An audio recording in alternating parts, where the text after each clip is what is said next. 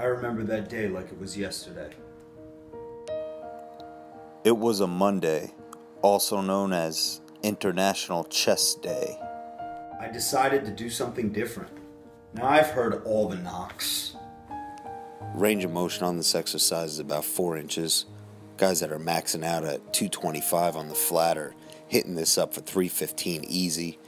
Even when you try to go heavier and ask for a spot, I mean, you're getting teabagged, man. Like straight balls in the face. Something definitely wasn't right. I mean, 335 was my max, and this was just going up and down like butter. This was a bigger illusion than CrossFit. So I said, fuck it, put another plate.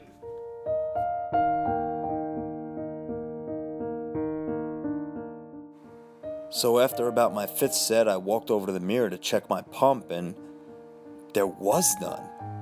I mean, I was flat. I mean, what did I just do for the past 15 minutes? I, I always get a pump on chest day. This this was bullshit.